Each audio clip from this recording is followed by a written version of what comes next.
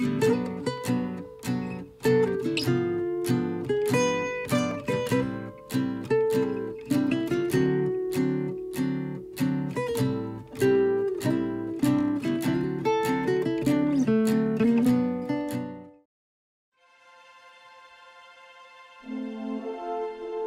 site da CNBB então já saiu aqui no Brasil. Papa aceita a renúncia de Dom Zeno Hassenteufel e nomeia Dom João Francisco Salm como bispo de Novo Hamburgo.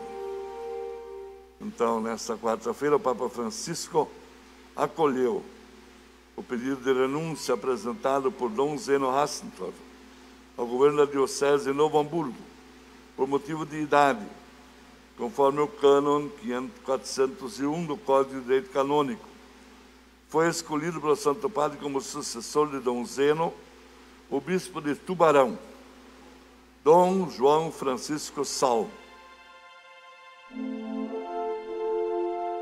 Estamos aqui com Dom Zeno Rastenteufel, hoje no dia do anúncio do novo bispo, Dom João Francisco Zal, que o senhor pudesse fazer primeiramente para nós na Vale TV, para o projeto Unsere Familien, um breve panorama também é, desses seus anos à frente aqui da diocese, né, comandando aqui a região.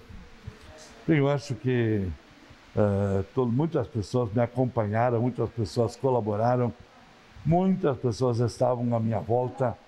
Sabe que eu andei para todos os lados aqui, crismando e confirmando nossos jovens.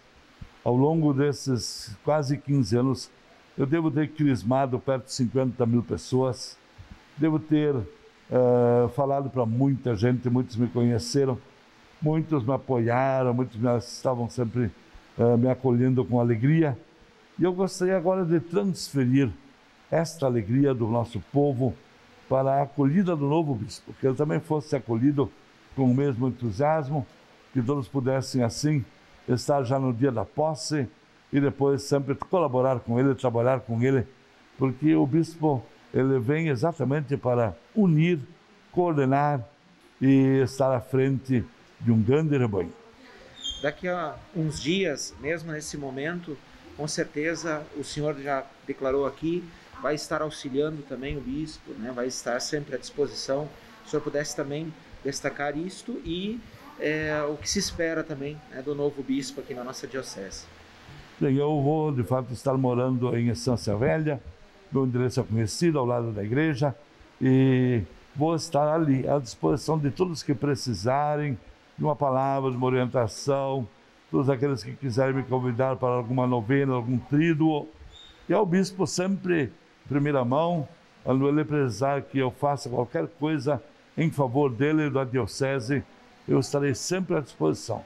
Eu vou ser, antes de tudo, o auxiliar número um de Dom João.